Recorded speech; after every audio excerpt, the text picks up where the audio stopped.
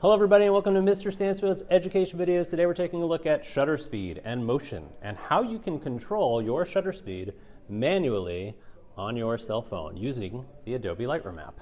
Let me just start a screen recording here and you can follow along with what I'm doing. All right.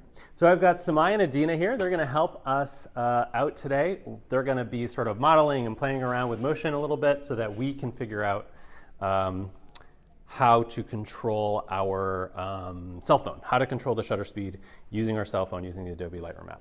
So the first thing you're going to do is download and launch the Adobe Lightroom app. It may ask you to log in. So before you get to the screen that you're seeing here, you may have to um, log in. Um, you shouldn't have to pay anything, but um, once you get to the um, screen that we're seeing here, um, to do that, you open up the camera in the bottom left. So actually, the default, you should see something that looks like this, and then press that camera, uh, the little blue camera in the bottom right, and it'll launch the screen that looks like this now.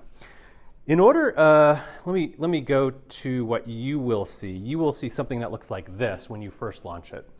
What you want to do is go down to where it says Auto on the bottom left and go ahead and click Professional. And that's the thing that's going to allow you to change your shutter speed. You'll see SEC here, it's the second option on the bottom. Go ahead and choose that, and then you can click and drag across that bar on the bottom, and that will allow you to change the shutter speed. So right now I just randomly chose 1 800th of a second. That's a fairly fast shutter speed. And I think that's a good place to start if you're trying to freeze motion. 1 500th of a second, 1 1000th, somewhere up there. Now the option on the Lightroom app, it will actually go to 1 10,000th of a second.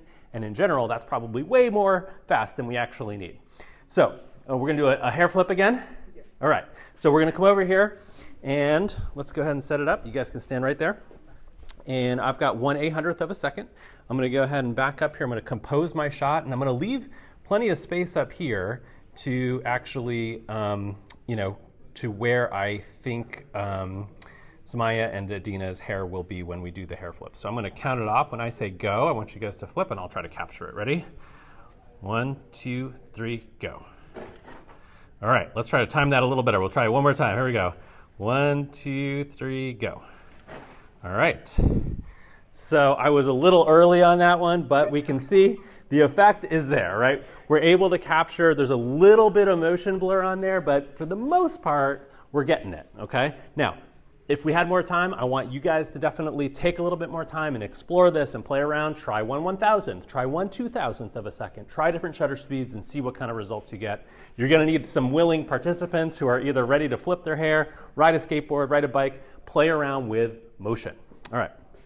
Um, what we are going to do now is try to blur motion, and we're going to bring our shutter speed, yeah, maybe one tenth, one eighth of a second, somewhere down there. And what we'll do is actually have one of you guys hop on the chair, and the other one's going to just push. And we're going to try first to get a panning shot. And um, once we do uh, the, the, after we do the panning shot, we'll do a non-panning motion shot. So the panning shot's going to be we're going to try to match the speed of the moving subject with the camera and see what we get with this slower shutter speed. Um, so where you guys are is pretty good. What I'm going to do is try to track the motion now. Um, you guys are in the frame perfect. All right, and go ahead whenever you're ready. Yeah, any speed is fine. There you go. All right. So, pretty good. Pretty good. I actually nailed it in one. So we can see Adina's pretty sharp there.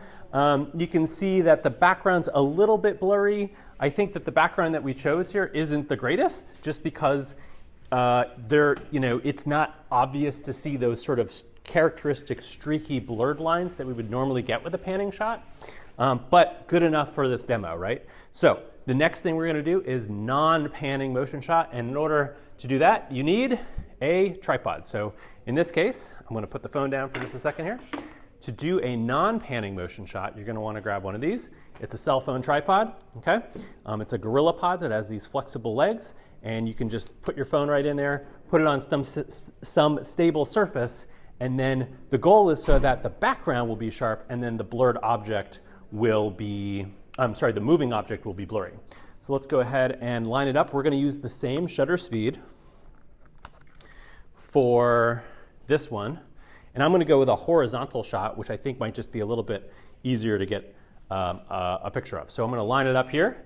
All right, let's go ahead and frame the shot. And there we go. Whenever you guys are ready, uh, you know what I'm going to do? Let's let's actually slow our shutter speed down. Let's go all the way down to one fourth, which is the slowest shutter speed that this um, particular um, camera will go to. You can see that it probably will be a little bit overexposed. So that's kind of one of those things that we're going to have to manage. We're going to have to deal with. Um, whenever you're using a slow shutter speed, sometimes you run into issues where the um, light is too bright for that shutter speed, okay?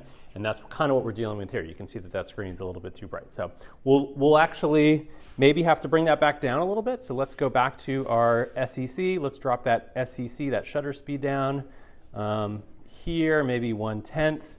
We're seeing a little bit more detail kind of um, coming around there, so that should be good to go. Let's try that. Here we go.